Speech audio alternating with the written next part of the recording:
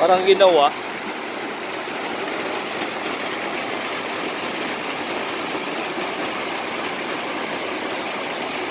Pangalan pa oh.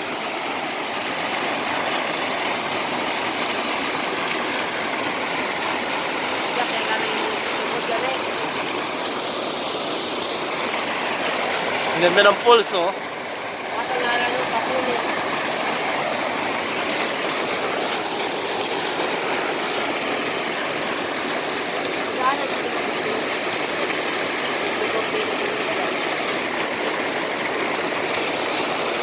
Napaligo dito.